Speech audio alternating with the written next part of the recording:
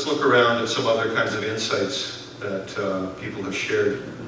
Uh, I, I, guess uh, I, I, I, have, uh, you know, there's really, you know, the colors of the mind. Uh, there's a, you know, we've been looking at pictures of rainbows in some of the previous uh, discussions. I mean, there's a very broad spectrum of experience on the human experience, and even on the spiritual journey people can feel under tremendous pressure and strife and tremendous crisis. There can be tremendous experience of darkness within the unconscious as people proceed towards the light of their realization, and, and that those dark times can be uh, analyzed and interpreted, particularly again in the world of forensics where we want to understand criminal behavior and what motivates people to do the things that they do and sometimes the terrible things that they do. In Wichita, Kansas, uh, the BTK killer used to keep the population uh, in, under a form of terror. He was a notorious serial killer, particularly active in the 1970s. And he used to taunt the police and the local journalists, uh, the TV news, with uh, letters saying you'll never catch me, while describing, at the same time, describing facts of the crimes that were known to the police and only to the police. Because of course, when these uh, events are disclosed, the police will, will not share all the information in order to try to minimize the number of fraudulent claims about uh, people say that I, am the guilty one. So the known BTK killer uh, wrote letters and uh, there was special information in those letters that I used to identify uh, Dennis Rader as the BTK killer. In fact, I, I ID'd him on Wichita radio 15 minutes before he confessed. So I, I beat the presses with my analysis. He was already he was already being held under suspicion at the time, but I was able to ID him in a special way. Let's listen to Rader's forward statements. He's talking about preparing for a court hearing where he'll be appearing before a judge. So now that party, we got it's going to be subpoenaed in or has been subpoenaed in, we cannot talk to that party. We can't, they keep here for visits. When I played that clip backwards, I could hear Rader say the words, the demons influence that guy. Denny the sequence, like Denny the sequence, like Denny the sequence, like what was that special piece of information that was shared in those letters from BTK, shared with police and, and the press, that instructed me that Rader was in fact the BTK killer? It, it was that BTK claimed to be possessed by a demon. This was his statement. And when I saw the, uh, the synchronicity, and the fact that Rader was talking about demons unconsciously, in, the, in, the, in the context that I had used this procedure successfully to anticipate world events as well as in my clinical practice and had repeated verifications about the truth of the statements. I said, you know, people don't usually talk about demons. It's unusual. But here's a person talking about demons and, and here's the BTK killer, the known killer talking about them. What are the chances? It's, it's very likely that Rader is in fact the killer.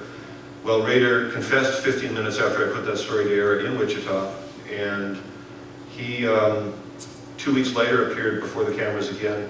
I'm just uh, trying to do this quickly. I want to get to his, his uh, remarks where he verifies his statements.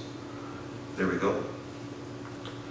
This is Rader's comments two weeks later, and this is the speaker himself. As, as happens in so many cases, the speaker himself is verifying the contents of his own unconscious messages. I just it's the dark side of me controls me.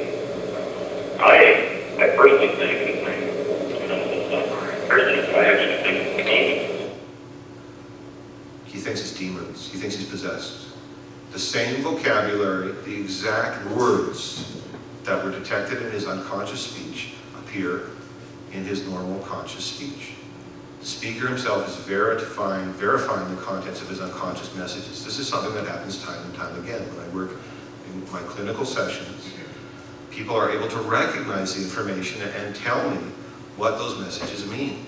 I detect the messages, I share them with my clients, and in return, they disclose the significance of the messages. And, and we find that that level of disclosure can reach back as far as six decades into the past. So seniors who are doing this process-oriented work are talking about their toys from when they were in childhood. They talk about the clothes that their dolls wore from 60 years in the past. They're able to verify that information. I wasn't there to see them play as a child with those toys. All I have is the speech signal that I've mirrored and studied for reflections of intelligence and presented to them for their feedback. It's for their, subject to their uh, interpretation. But at time and time again, the information is verified. And I really think that that, you know, agree or disagree that uh, people are speaking backwards. The fact is that statistically, I don't think it's very likely, just based on, on average performance, that a person could, could accumulate so much penetrating information, could defy not only the arrow of time, but in fact, uh, you know, the national security apparatus, the people's egos, people's pride, people's vanity, their willingness to disclose or not disclose. You know, many talk therapies uh, are subject to those kinds of inhibitions. People don't want to talk about the things that are painful. They don't want to be seen in a bad light. People are afraid that their, that their reputations might be at stake.